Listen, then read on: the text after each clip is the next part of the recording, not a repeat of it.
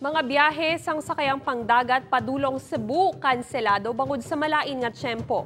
Mga suba padayon nga ginamonitor sa wala untat nga pag-ulan.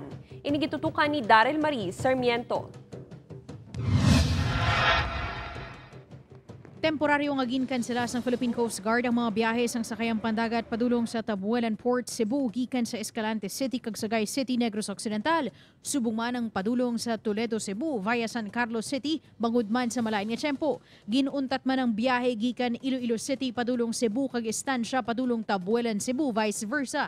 Nagapabili naman nga regular ang biyahe sa mga fast craft kag fiber motor bangka padulong Gimaras, Iloilo City vice versa kag mga fast craft padulong sa Bacolod City. Ang ila sini nga next or intended route pakadto dito or destination sa may storm signal.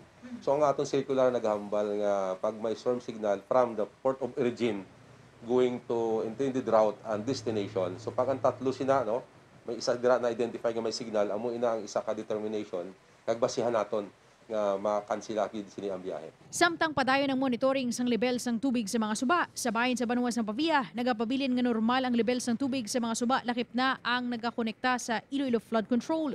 Sa piyak sini, suno sa Pavia MDRMO, nakahanda ang evacuation centers kag rescuers sa pagresponde sa mga emerhensya. Sige-sige ang manipis nga ulan for the past uh, 24 hours still hindi pa man affected diri ang kasubaan taway pa man naga naga-spike nagasaka pero ti kung magsige ang ulan karon sa kabukiran sang maasin kag alimudyan so probably we expect that for about 3 to 4 hours mas spike na siya Nagapabilin man sa normal ang water level sa flood control sa bahin sang Buang Haro. May gamay nga pagtaas ang tubig sa bahin sang Moroboro Dam sa Banuas sang Dingle. Paday naman nga ginabantayan ang pagtaas ng tubig sa suba sa bahin sang Barotac Viejo nga posible maglapaw sa wala untat nga pagbubo sang ulan. Upod kay Hans Tisherto, Daryl Marie Sarmiento, One Western Visayas.